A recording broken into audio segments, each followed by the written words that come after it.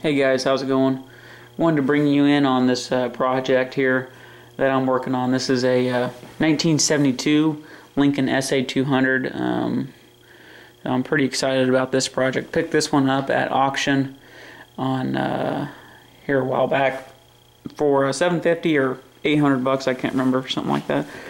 Engine runs freaking great. I mean, the engine is just phenomenal. Really excited about that. Um, they said it was producing 110 power. Did not have any power um, at the weld um, for welding purposes. So, um, trying to get that hashed out.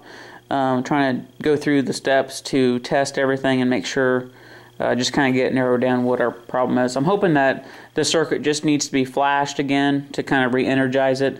They said that this unit here just never really got used pretty rarely, so I'm hoping that's the issue. But I'm still working through that.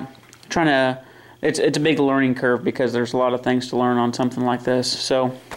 Um, I did go ahead and put in a, a, new outlet and I'm trying to get it set up for a uh, remote. Um, pretty excited about that. That'll be a really handy feature to have. Um, unfortunately, the wiring diagram that they provided um, with the uh, remote kit uh, still leaves me a little bit confused as to what's going on and what I need to do. So I'm uh, working through that. Um, slow but sure. Wiring's not really my thing, guys. So um, it takes me a long time to figure it out, I admit. Um, I did see this here. Um, I seen this really nasty arc mark across the uh, fine fine rheostat adjustment. I do have a new rheostat um, on hand. I'm going to wait to change that out until I can uh, do some actual test welds with it.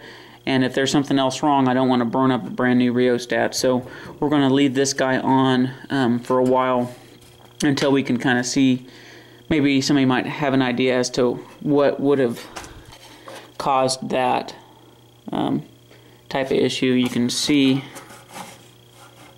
that that lines up pretty dang nicely with that one. So I'm not sure what exactly happened there, um, but if anybody has some ideas, that'd be um, some great knowledge to have. Um, really excited about this project. This is a a big step forward in my uh, quest for uh, doing some pipe welding and stuff like that. Just kind of wanted to try it out, and I really want to get out there and do it. So you gotta have uh, gotta have a good machine, and from all accounts, these are pretty damn solid machines. So really excited to have one in my possession.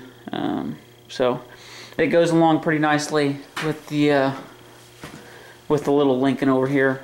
Unfortunately, I'm probably gonna have to sell that one um, uh, good machine there too. I, you guys remember the uh, restoration project on that one? That one took me a long time too. A um, lot smaller machine, but boy howdy, that that's a runner too. Good machine. So uh, thanks a lot guys for watching. I'll try to keep you updated, and I'll see you in the next video.